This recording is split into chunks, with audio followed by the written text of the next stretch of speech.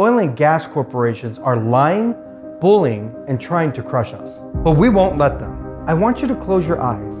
I want you to think about how important clean water is to you. How important is clean air to your kids? How important is your home value?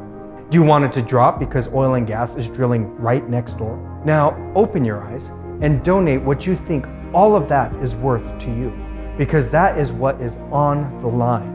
We have to fund a strong grassroots campaign to pass Proposition 112 on November's ballot. We have to come together.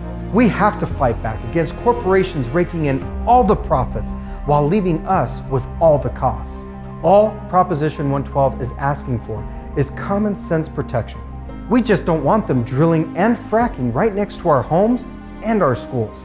Please donate right now so we can pass Proposition 112. I'm Representative Joe Salazar, and I'm standing with Colorado Rising,